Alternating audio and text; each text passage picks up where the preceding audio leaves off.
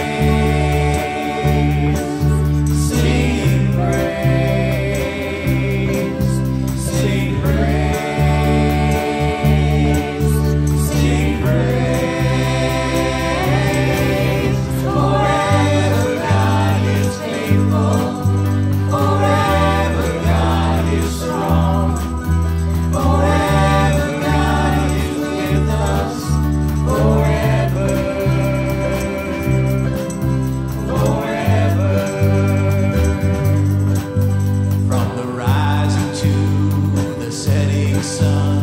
His love endures forever. By the grace of God.